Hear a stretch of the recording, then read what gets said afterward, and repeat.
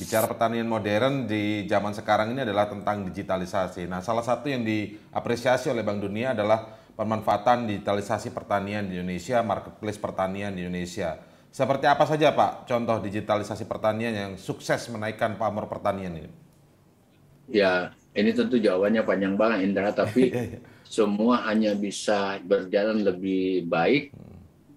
Uh, kami punya tagline, saya mulai dulu, hmm. makin maju, makin mandiri dan makin modern.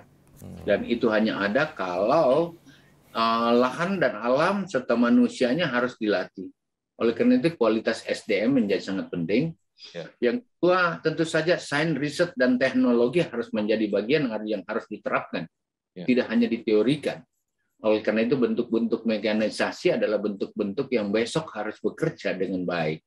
Nah, uh, oleh karena itu memang uh, kalau tadi pertanyaannya Indra uh, ini seperti apa? Semua harus dibungkus dengan digitalisasi. Ya. karena tidak ada lagi negara yang begini besar 27 ribu pulau Menteri Pertanian mau ke Papua Papua ke Aceh kapan mau selesai nih?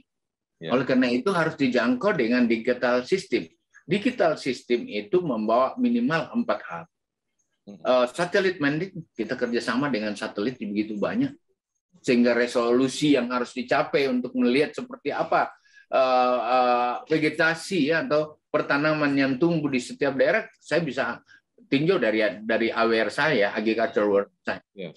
Oleh karena itu bagian-bagian dari digital itu harus main. Yang kedua, semua harus dengan artificial intelligence. Kita bisa lihat semua melalui uh, IT dan digital. Internet of Things menjadi bagian. Hmm. Ini semua enak dibicarakan, tapi tidak semudah itu dalam terapan. Hmm. Kita harus bisa bicara dengan bentuk-bentuk uh, Internet of Things. Hmm. Ini harus diajarkan. Sekarang petani yang um, kolonial itu 71 persen.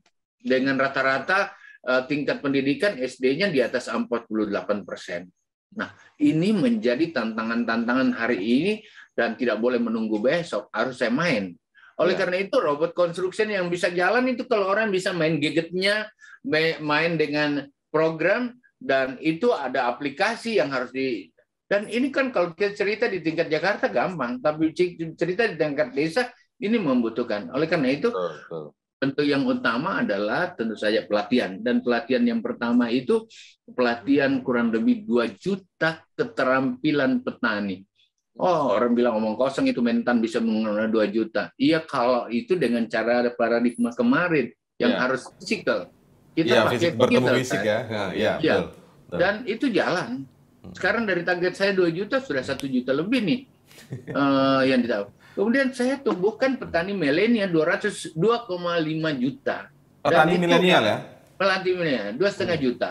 Dan sekarang ini udah terdaftar 1,7 kalau nggak salah ya, lebih kurang lebih ya 1,7. Kemarin di Papua dengan target 2000 kami udah latih 800. Tidak hanya dilatih Indra. Sesudah dilatih jangan sampai kayak zaman dulu dilatih oleh PKK, dilatih lagi oleh uh, transmigrasi, dilatih oleh Kementan, dilatih. tapi selesai latihan enggak? Kami sertifikasi mereka sesudah itu dia harus jalan dengan program. Dia harus jalan. Bahkan kita kasih program kur, bagaimana menarik kur dari pertanian kami dipotong cukup besar nih refocusing ya, karena betul, betul. APBN kita ditarik untuk vaksin dan lain-lain kan. Betul, ya, ya. Tetap kan presiden membangun uh, kur kredit usaha rakyat di mana hmm. Mentan mendapatkan jatah. Hmm. Dan dari 55 triliun yang kami hmm. pakai, hmm. yang macet itu cuma 0,3 persen. Hmm. No? Artinya turun semua terserap terserap semua ya? Terserap, tetapi nggak bisa begitu aja harus dilatihkan.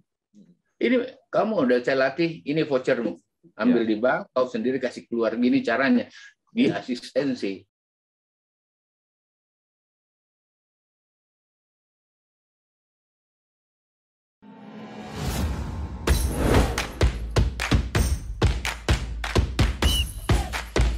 Ayam kalau diaduk-aduk jadi cair.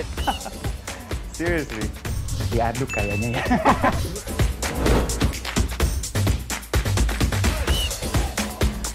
oh, perlu luar negeri gimana ya? Ini demi kemajuan bangsa Indonesia.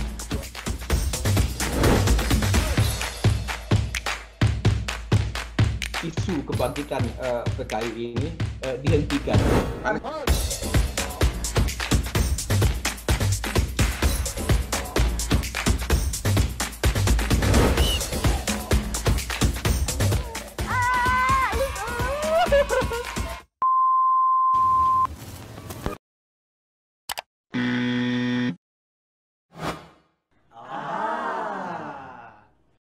Medcom.id, a part of Media Group News.